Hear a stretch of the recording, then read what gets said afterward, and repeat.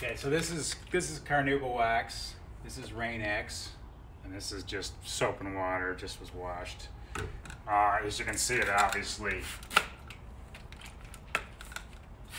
comes off a lot better. On the Rain X, comes just right off. And on the Carnauba, it looks like the beads are a little smaller than on the plain, but you can tell the difference when you squeegee it too. You this feels kind of kind of raw, like it kind of sticks. When you do it on this side, it feels very smooth. And then watch this, this one just just comes right off.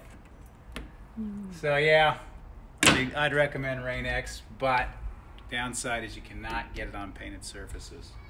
So you have to be careful when you do it. But it's worth doing. Cool, thanks.